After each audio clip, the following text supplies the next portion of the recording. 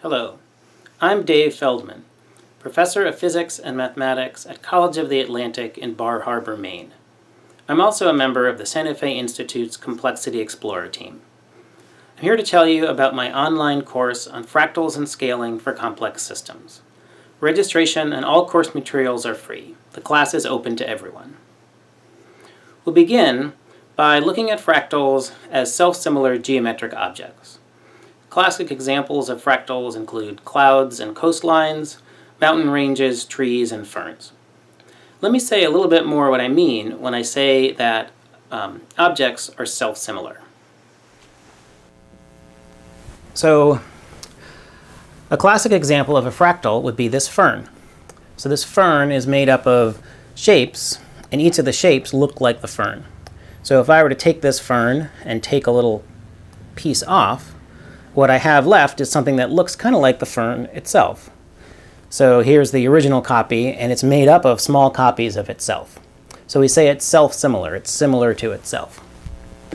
In contrast, a person is not self-similar. If I pull an arm off of a person, what I have doesn't look like a person, it looks like an arm, a creepy little arm. It doesn't look like the person at all.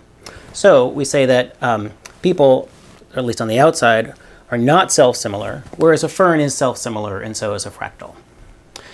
Now, it turns out that self-similarity applies to objects um, that aren't like ferns. They apply to things that aren't objects at all, to distributions. And in order to illustrate that, I'm going to need to use a, a picture really quickly. Here's a fractal known as the Sierpinski triangle. Suppose I asked you to describe the distribution of triangles in this shape. How many different triangles there were of different sizes. Well, the first thing you might notice is that they're triangles of lots and lots of different sizes. There's, a, there's one big triangle, there's some smaller triangles, and it's triangles all the way down. Triangles made up of triangles made up of triangles. Just keeps going. But the other thing to note is that there's a certain regularity here. So every time you go down uh, one size in triangles, you see three times as many. So here is one triangle. And if I go down to the next size, I see three of them. One, two, three. If I go down to the next size, this one, I now see three times more for a total of nine. One, two, three, four, five, six, seven, eight, nine. So the distribution that would describe this state of affairs would be said to be scale-free. It's scale-free because there's a certain statistical regularity that holds across all different scales in the shape. So here's where things start to get really interesting. Because it turns out that many phenomena in complex systems are distributed similarly to the triangles in that fractal example we just looked at. They're described by scale-free distributions. Examples of such phenomena include the frequency of words in texts, the strength of earthquakes, the popularity of websites, the size of cities. All of these are well approximated by scale-free distributions. So in the second part of the course, we'll learn about scale-free distributions. Scale-free distributions are also known as power laws, and phenomena that are described by these distributions are said to exhibit scaling. They have a statistical regularity that holds across scales.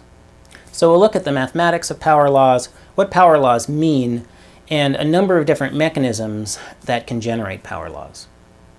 In the last part of the course, we'll look at two recent uh, applications of scaling to complex systems.